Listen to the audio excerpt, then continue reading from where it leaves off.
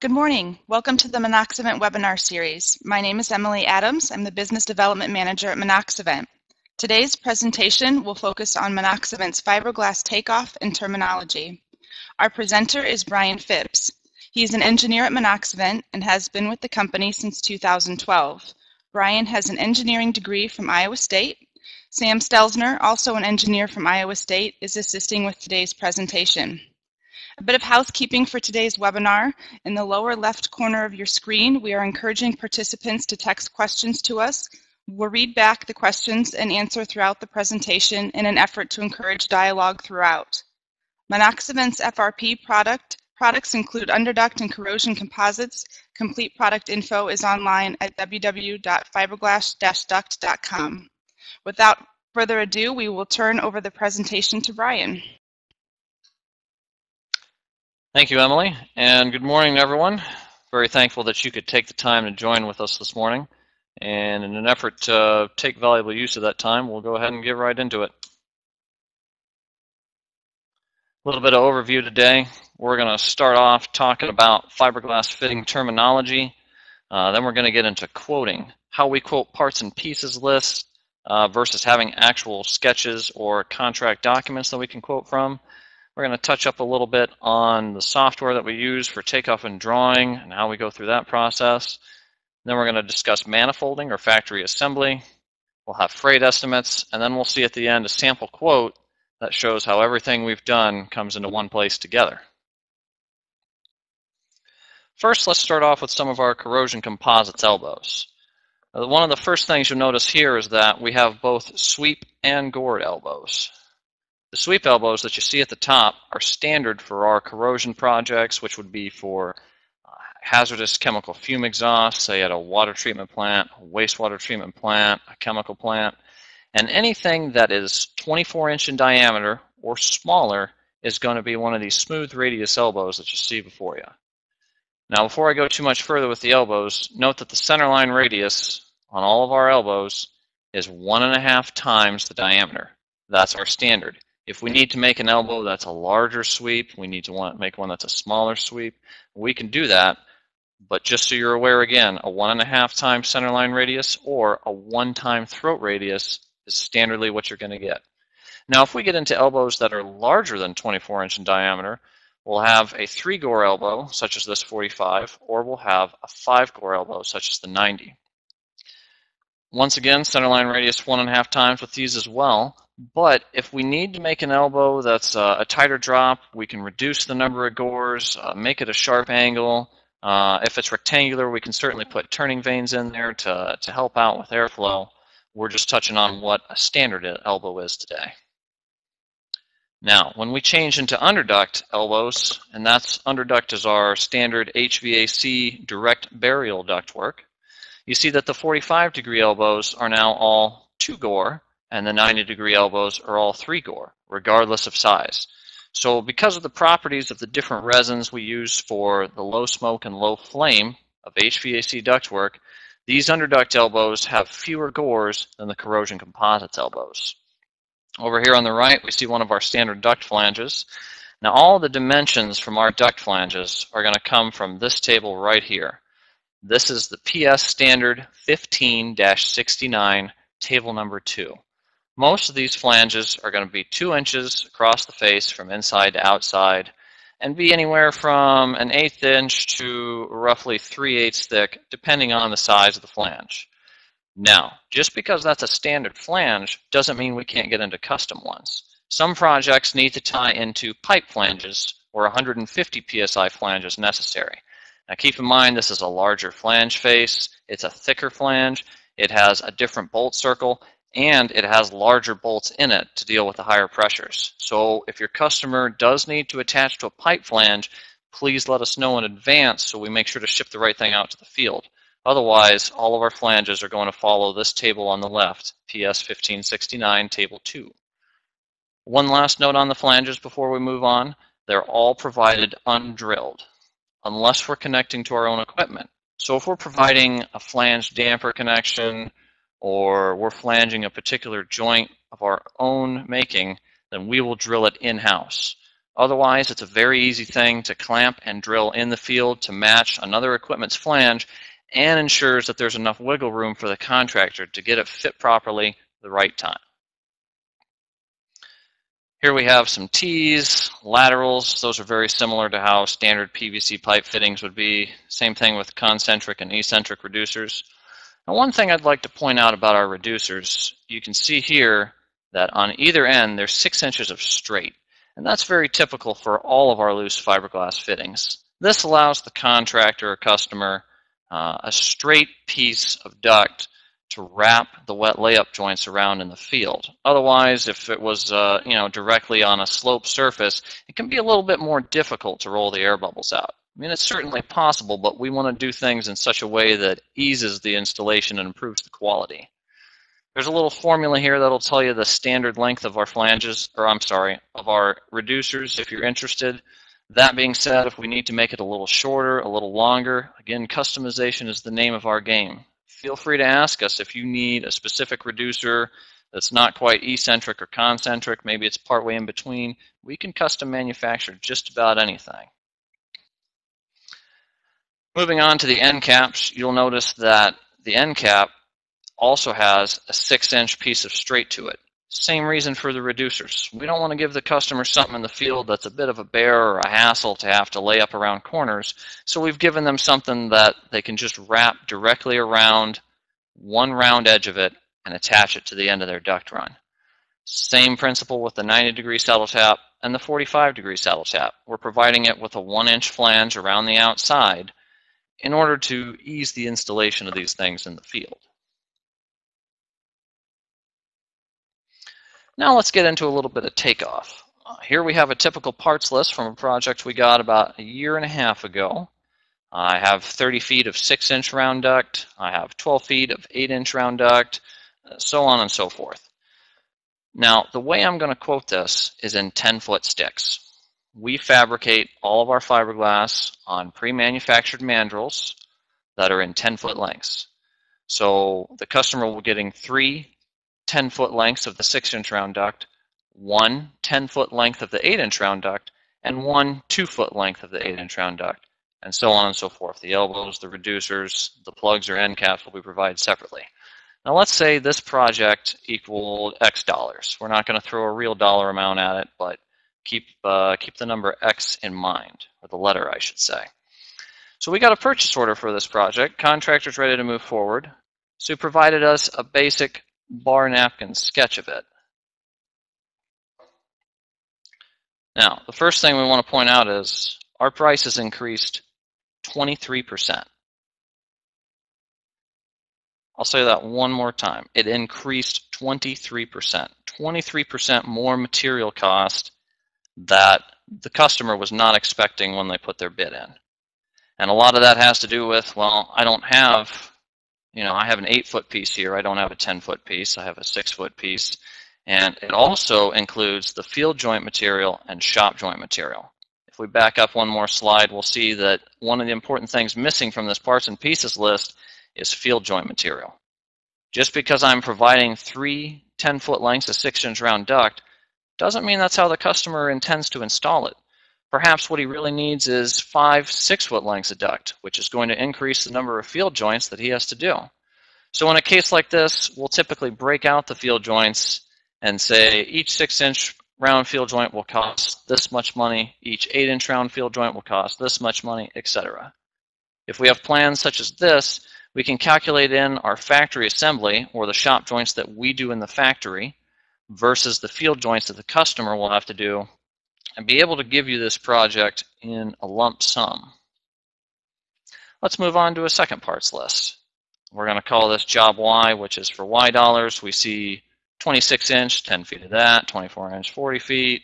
See some Y branches, some elbows, and here the customer has indicated the number of field joints and the sizes they need. One thing to note on this says also order one can of putty.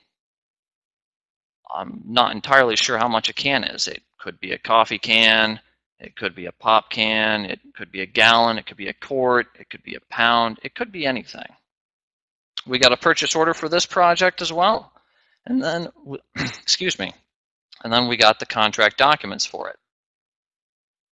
So we were able to calculate out the number of field joints and shop joints and how we would factory assemble it. 10%.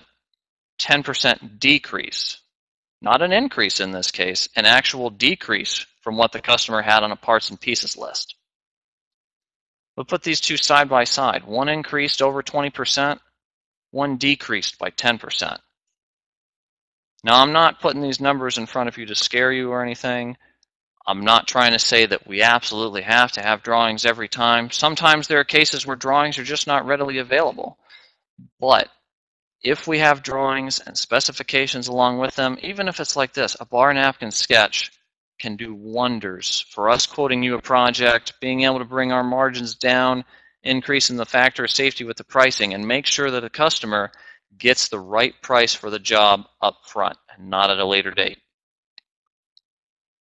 When we do have contract documents, we use on-screen takeoff as our primary takeoff software. Here you can see an underground run here, as well as one along here. And we've indicated with blue marks where the shop joints are, which are again the same thing as a field joint, but it's something we are completing in-house before the project arrives on site, and the red field joints that the customer will complete in the field. Once we've taken our quantities from on-screen takeoff, we plug it into an Excel sheet. As you can see here, two gore elbows, three gore elbows, five gore elbows, now, I'd like to point out here, again with the elbows, you'll see that nothing says 45, nothing says 90, because to us, the cost of the elbow is more about the material and labor put into it than the actual angle it does. So typically, any elbow that's larger than 45 degrees, but 90 and shorter, will be a 3-gore elbow in underduct or a 5-gore elbow in the corrosion. That also being said, anything 45 degrees or less will still be a 2-gore elbow for the underduct or 3 for corrosion. Here we have our field joint spreadsheet. This helps us determine how many pounds and feet of glass, resin, catalyst, etc. will be needed for the project and breaks out how many joints there are of each size and how much material each joint should take up. Now this is something that we provide uh, on our website in the instructions directs how many of what kind of layer go on each joint and also the directions that are provided with the project when it ships to the site. One important note on this, it's a little bit small, I apologize, but extra material 20%. We always calculate exactly what we would need to do the job if everything went perfectly, and then throw in an extra 20% field joint material. Course, there's no such thing as a perfect job, and you know we don't want a customer caught in a bind if a little bit of resin gets uh, gets lost, or or if it gets spilled, or some of the glass gets damaged. So we provide that as a nice extra factor of safety. Once we get into the drawing phase, we can start piecing things together such as this. This is where we get into our factory assembly and determining how we're going to ship the product to the site instead of loose pieces. So here I have a 16 inch length, reducer that comes down to 10 inches, 10 inch length elbow, and a couple of saddle taps. So if I'm providing this in loose parts and pieces, the customer is going to get this 16 inch chunk.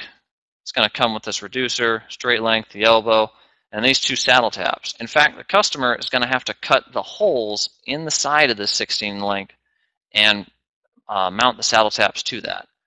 So we count the field joints. One, two, three, four, five, six, and the end here makes seven field joints, including two holes that the customer is doing in the field. Now this piece, as we see it, is actually how we shipped it for this project. This is the factory assembled piece. So all of the red joints you see here including these two holes, the customer doesn't have to worry about that. We've taken care of it in-house. So we've gone seven field joints down to two. And we've eliminated two holes that the contractor has to cut in the field.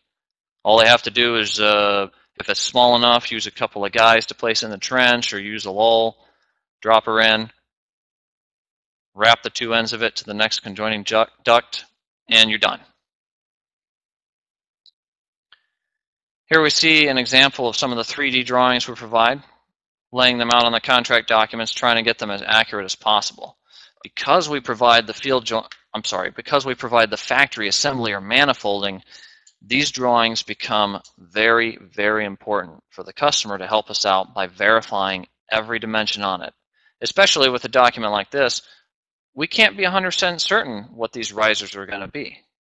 That will be up to our customer to let us know how long they would like these lengths so that all these little taps can be provided and located in our shop and ship with all of them already on there and all the customer would have to do is put one joint for each of these taps. So coming back to the shop drawings again, before we can start shop drawings, we must have a purchase order. No extra parts are shipped or stocked. Again, emphasizing the importance of field measure and verifying every dimension. Because every fiberglass job we do is completely custom with the factory assembly, we, we can't stock these manifolded pieces, which means if you know on site that you are short a couple of 45 degree elbows or uh, you have too many or you got the wrong one, letting us know as soon as possible can help us slide that into production, get something fabricated for you, and get it shipped out as quickly as possible. Unfortunately, if you were to call me at 4.30 on a Thursday evening and say, can you overnight a couple of elbows, I need them tomorrow morning, again, it's not something sitting on our shelf. We'll have to fabricate it. And production cannot begin without signed and verified drawings. This again comes back to the factory assembly because we're guessing about a lot of field conditions off of contract documents that can often not have all the details there. We really appreciate the contractor coming back, field measuring, making sure all the risers are correct, making sure the lengths are correct, and looking at where we're placing the field joints on these so he gets a good idea of what pieces are going to show up on that truck when it ships out. Let's touch a little bit on freight estimates. We have enclosed trailer versus flatbed. Now, an enclosed trailer is cheaper than a flatbed and typically more readily available. So it's our go-to thing.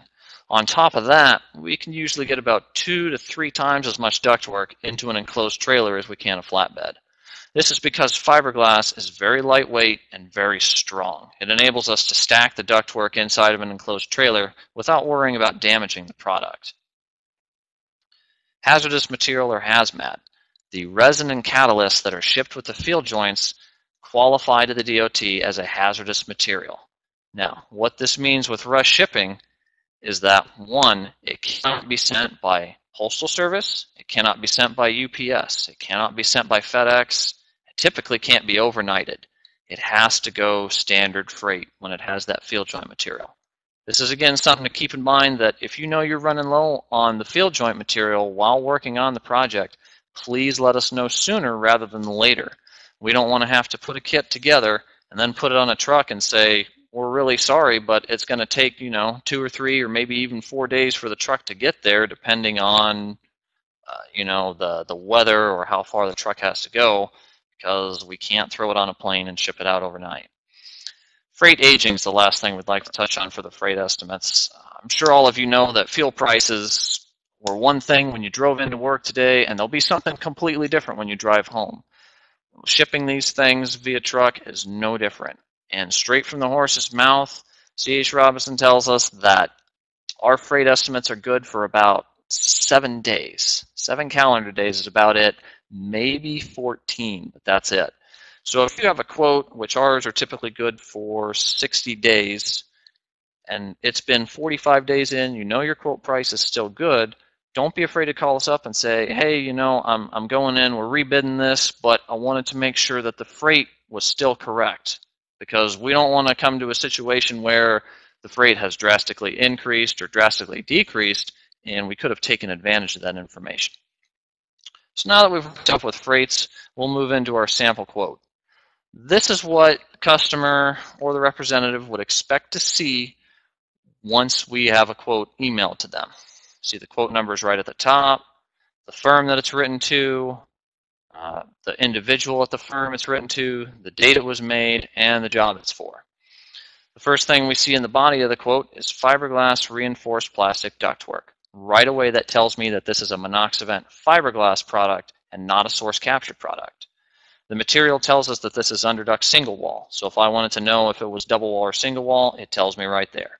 found on drawing sheets, M110 and M111. If we have the contract documents, we'll let you know what sheets we found ductwork on.